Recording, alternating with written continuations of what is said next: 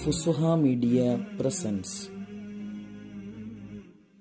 السلام عليكم ورحمة الله وعليكم السلام صلى الله عليه صلى وسلم الله عليه وسلم أربع من السعادة നാല് കാര്യങ്ങൾ ഒരു മനുഷ്യന്റെ സൗഭാഗ്യങ്ങളിൽപ്പെട്ടതാണ് അർബഉൻ നാല് കാര്യങ്ങൾ മിനസ്സഹാദത്തി ഒരു മനുഷ്യന്റെ ക്ഷേമത്തിലും സന്തുഷ്ടിയിലും സൗഭാഗ്യത്തിലും പെട്ടതാണെന്ന് തിരുനബി.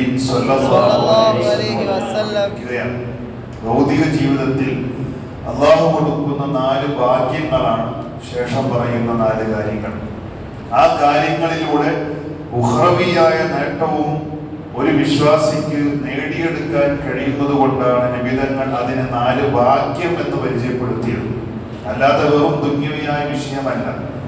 ആ കാര്യങ്ങളെ കൊണ്ട് ദുന്യാവിൽ കിട്ടുന്ന അനുഗ്രഹമാണ്. പക്ഷേ അതോടൊപ്പം ആ കാര്യങ്ങൾ ആഹ്റത്തിലേക്ക് സമ്പാദിക്കാൻ വലിയ മുതൽ കൂട്ടാകുന്നു എന്നതുകൊണ്ട് തന്നെ നിബിധങ്ങൾ പറയുന്നു അതൊരു മനുഷ്യന് നൽകപ്പെട്ടു കഴിഞ്ഞാൽ ഈ നാല് കാര്യങ്ങൾ ഒരു മനുഷ്യന് നൽകപ്പെട്ടാൽ അത് അവൻ വലിയ ഭാഗ്യം ലഭിച്ചതിനും വലിയ ക്ഷേമം ലഭിച്ചവനുമാണെന്നാണ് നിബിധങ്ങൾ പറയുന്നത്. അതിലൊന്ന് അൽ സ്വാലിഹത്തു.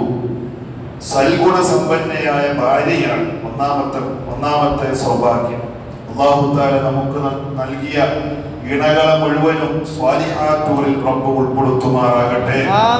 വിവാഹം കഴിക്കാനുള്ളവർക്ക് അള്ളാഹു സ്വാലിഹത്തുകളായ ഇണകളെ എത്തിച്ചു കൊടുക്കുമാറാകട്ടെ. രണ്ടാമത്തേത് വൽ മസ്കനുൽ വൽ മസ്ക വൽ മസ്കനുൽ വാസിഉ.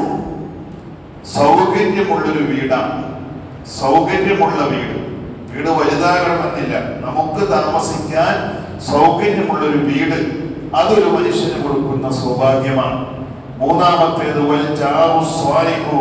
നല്ല അയൽവാസികൾ. നല്ല അയൽവാസി. നമുക്കുള്ള അയൽവാസികൾ നല്ലവരാവുക. അതോടൊപ്പം നാം മറ്റുള്ളവർക്ക് നല്ല അയൽവാസി കൂടിയാവുക. ഇത് രണ്ടും മേടിക്കുക. നമുക്കുള്ളവരൊക്കെ നല്ലവരാകണം. നാമോ നാം നമ്മുടെ അയൽവാസികളോട് ഉപദ്രവം ചെയ്യാൻ അത് പറ്റില്ല. നമുക്കുള്ളവരും നന്നാകണം നാം മറ്റുള്ളവർക്ക് നന്മ ചെയ്യുന്നവരുമാകണം. അങ്ങനെയുള്ള നല്ല അയൽവാസി. വൽ